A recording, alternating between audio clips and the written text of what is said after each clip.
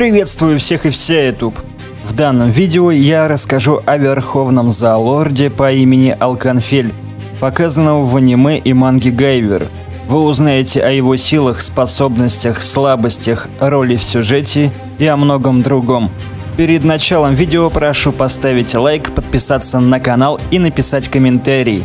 Все эти действия чрезвычайно важны для продвижения Гайвер вселенной в массы.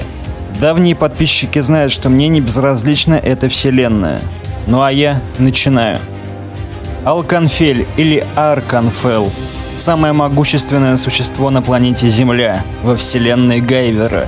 Является верховным зоолордом и командующим Совета 12, правителем всей планеты, основателем корпорации Кронос и просто уникальным созданием, предел сил которого до конца неизвестен.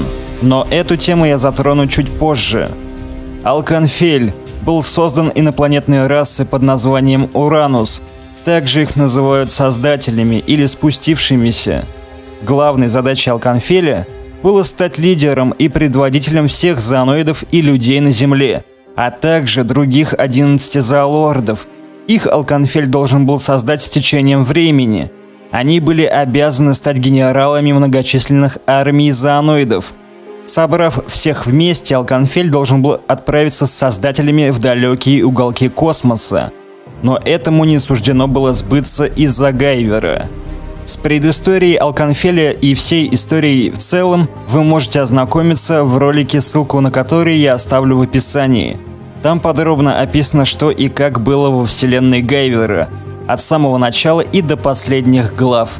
Я же возвращаюсь к герою видео человеческой форме Алканфель выглядит как худощавый молодой человек с длинными седыми волосами до шеи, элегантными заостренными ушами и желтыми щелевидными глазами.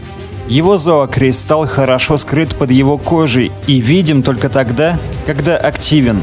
Он излучает сияющий свет под слоем кожи на лбу. В боевой форме зоолорда Алканфель золотистого цвета с многочисленными кристаллами и гравитационными сферами, покрывающими все его тело. Каждый из них может излучать и светиться различными цветами. Вокруг Алканфеля виднеется мощная аура ярко-золотого цвета, чем-то напоминающая божественную. У него имеется множество остроконечных шипов, которые покрывают его голову, плечи, ноги и предплечья, у него длинные вытянутые плечи, похожие на выступы, а его зоокристалл является одновременно самым большим из всех зоолордов. В отличие от других зоокристаллов, которые преимущественно красного цвета и излучают красное свечение, у Алканфеля он темно-фиолетовый и светится фиолетовым свечением. Переходя к личности Алканфеля, то тут стоит сказать, что он отчужденный, а в его взгляде прослеживается глубокая безразличность и презрение. Это можно объяснить тем, что он совершенно уникален не только на Земле, но и скорее всего во всей Вселенной. Люди, которые окружают его и на которых он внешне похож, не вызывают у него никаких чувств. Как назначенный генерал армии зооноидов, предназначение которых быть лишь расходным материалом, Алканфель был наделен сильным чувством ответственности и власти – но не сочувствием, состраданием или способностью к милосердию. Добавьте к этому тот факт, что он был оставлен своими создателями как опасный провал, вместе со всеми другими их творениями на Земле.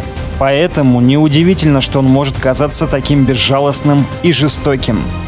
Находясь в окружении более низких по статусу и уровню существ, он буквально насмехается над их никчемностью и беззащитностью – даже иногда удивляется, когда кто-то нападает на него.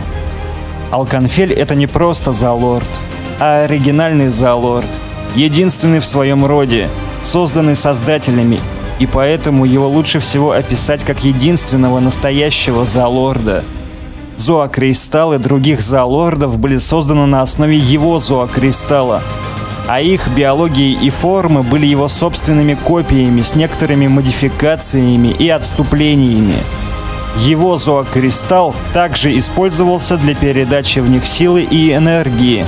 Из-за этого считается, что Алканфель обладает всеми способностями, что имеются у других зоолордов. Способностей огромное количество, поэтому я перечислю самые важные и те, которые он применял непосредственно в бою. А именно, телепатическое общение со всеми обычными зооформами и контроль над ними. Кроме обычных людей, гайверов и потерянных номеров.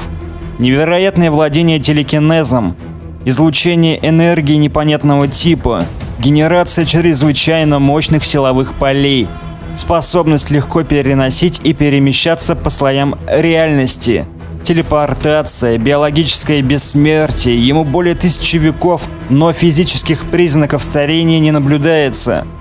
По всей видимости, Алканфель обладает передовыми знаниями в области биоинженерии и генетических манипуляций – переданных ему во время его создания инопланетянами, которыми он впоследствии наделит Хамелькала Балкуса для создания зооноидов, гиперзооноидов и самих зоолордов.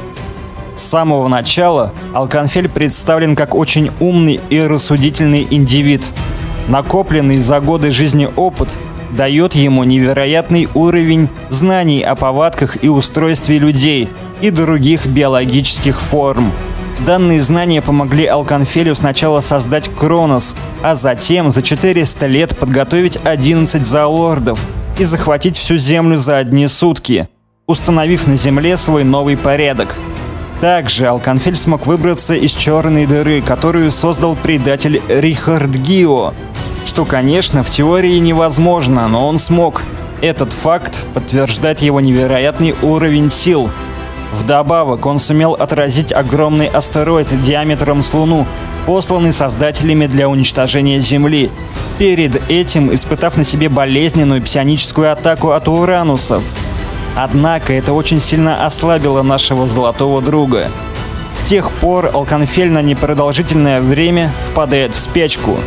С течением лет время пребывания в таком состоянии увеличивается – Данная особенность делает его достаточно уязвимым перед гайверами и залордами. Но об этом никто не знает, кроме доктора Балкуса и Макарума Мирабилиса. периоды спячки Алканфиль находится в специальной капсуле, которая восстанавливает его силы. Сама же капсула находится на доисторическом острове Силха, закрытого от взора людей – на данный момент целью Алканфеля является найти своих создателей и узнать ответы на многие вопросы, которые накопились за прошедшие года. Для этого был сконструирован космический корабль исполинских масштабов под названием «Ковчег». На сегодня у меня все. Понравилось видео и ты узнал что-то новое? Ставь палец вверх, подписывайся на канал, смотри другие видео по вселенной Гайвера на моем канале. Спасибо за просмотр, всем удачи и пока.